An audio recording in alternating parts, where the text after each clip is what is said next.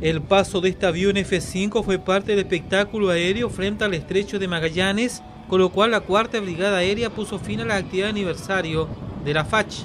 Los niños y adultos que llegaron a la costanera pudieron disfrutar de una hora de exhibiciones, tanto de estos aviones capaces de romper la barrera del sonido.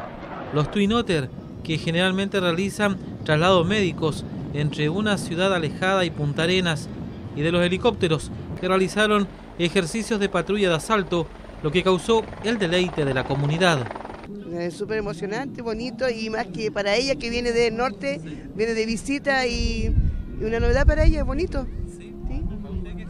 No, todo ha sido maravilloso. Eh, la entrega, la gente, no, bonito. Los paisajes, ¿para qué decir? Se ve bien bonito, así que estamos esperando que continúe y, ver el final.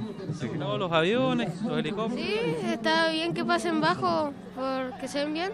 La encuentro bonita porque los niños se entretienen bastante y uno mismo también.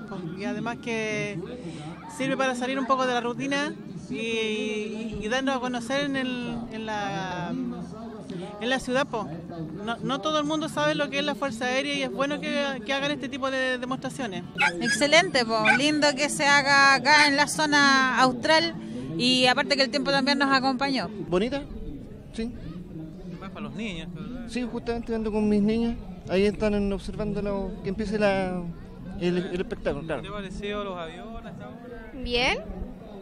Sí, porque bueno, Casi siempre cuando vamos a la base lo vemos nosotros, pero ahora lo pueden ver el resto de las personas. La Fuerza Aérea resaltó que gracias a que se unió Magallanes con Chile vía aérea, las autoridades de comienzo del siglo pasado procedieron a crear la Fuerza Aérea de Chile, una entidad militar que con el paso de los años se ha integrado al quehacer de la comunidad. Actualmente en Magallanes hay 900 funcionarios.